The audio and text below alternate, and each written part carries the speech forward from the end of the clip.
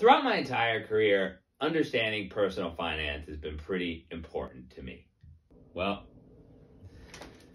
that's where Ken and Barbie come in. Each cost $10. There's a certain genius to this. Because when they each cost $10, I can tell my kids, well, you want that. That's the equivalent of five Barbies. Or when I ask about, you know, bigger purchases, like how much does a car cost? Well, depends on the car, but it could be 6,000 Barbies, 4,000 Barbies.